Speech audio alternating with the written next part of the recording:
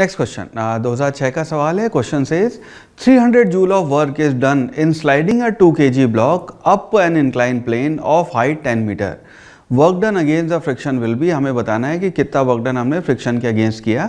हमारे ऑप्शन है 100 जूल 0 200 या फिर 1000 जूल हाँ सिंपल सवाल है। वर्क एन थोरम की एप्लीकेशन है।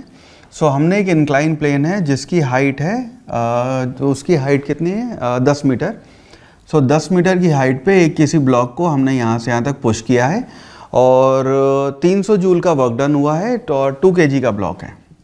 राइट और टोटल वर्क डन हुआ जो हमें यहाँ से यहाँ तक ले जाना पड़ा वो आ, आपका तीन सौ जूल का वर्क डन हुआ है। ना यहाँ अगर हम वर्क कहें तो हम एक बार लिखें तो हम कह सकते हैं कि work done by external plus work done by non conservative force plus work done by pseudo force will be equal to change in potential energy plus change in kinetic energy. Now इस box को हम slowly slowly लेके गए हैं तो kinetic energy में change zero होएगा और एक मिनट सूडो फोर्स है। नालिन work done by pseudo force work done by external force zero है। सो so, हमें देखना है कि कितना आपका जो चेंज आया नहीं ये वर्क डन बाय एक्सटर्नल जो है ये आपका 300 है यहाँ पे। और ये work done by non conservative forces आपको यहाँ बताना है कितना है।